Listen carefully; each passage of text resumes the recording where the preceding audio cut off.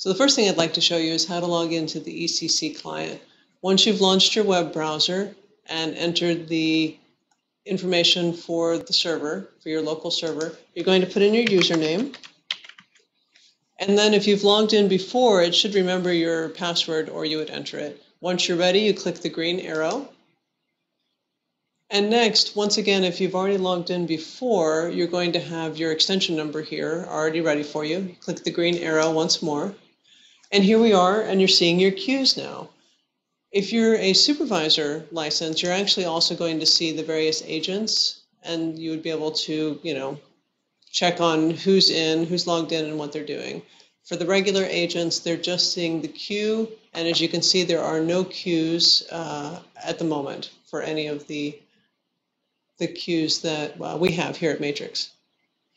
It's really easy to log in and out of your queues.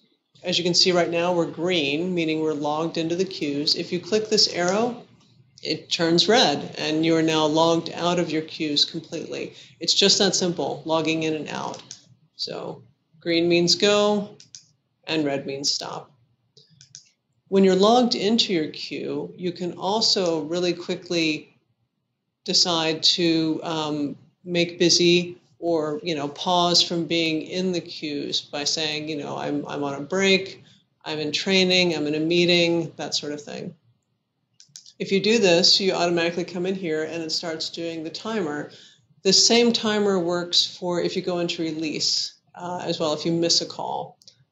So and then you can see start taking requests and I go back to green again.